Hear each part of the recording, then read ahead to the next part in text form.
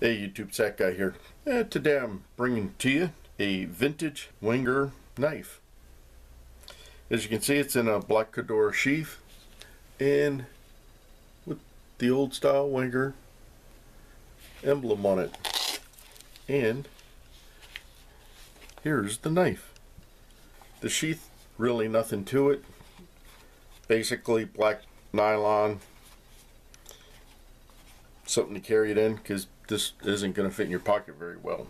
This is originally called the mini grip as there was a larger knife in the 120 130 millimeter range that had a fixed pair of pliers on it but it, it later became called the pocket grip this is based on the 85 millimeter knife for your scales here standard size 85 millimeter with the pliers sticking out.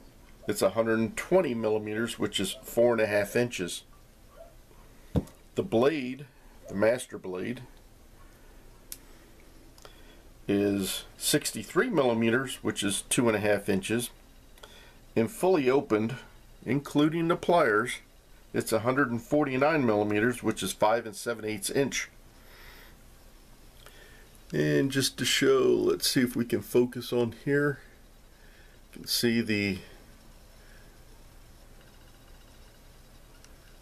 hopefully we can there we go. The tang stamp. And then on the back it has the W on it. And then it has it's a also has a wood saw which has a ruler on each side of the saw which is not common having a ruler on the saw. One side is metric and the other side is standard. And then right next to that if we can get it out there we go is the metal file metal saw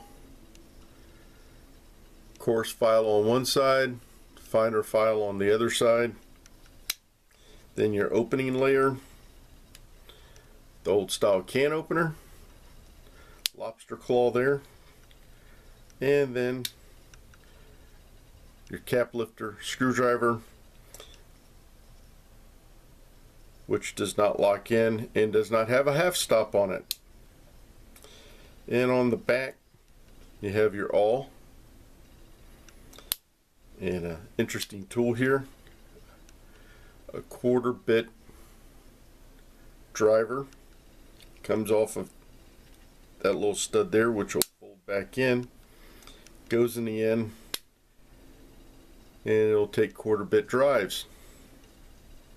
And then you have your toothpick and tweezers in the scales. Your pliers as you can see are locked to lock and unlock them. You have a little tab right here. And you pull it back just a little bit. It's kind of got a little bit of jimping there to pull it back. And your pliers will work. And to lock them in place you just push it forward to lock back in place. Under the handle is a compartment as your quarter inch bit drivers. Take it out and you have screwdriver. Handy little tool there. And no wonder bit fell out. So if the bits aren't in there correctly it's not going to lock in there. Then it closes. Lock that in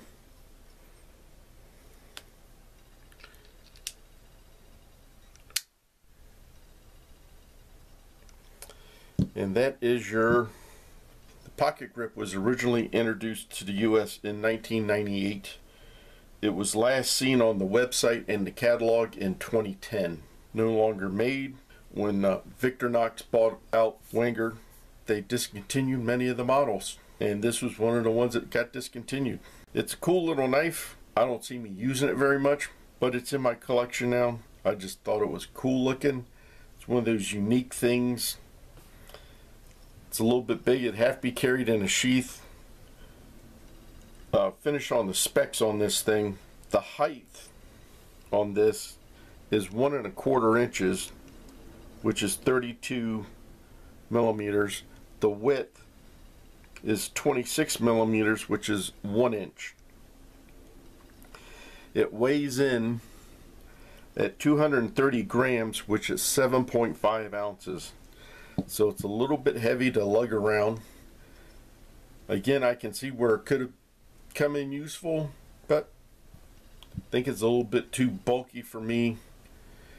And uh, prefer some of the newer knives where you have your bits in the pouch.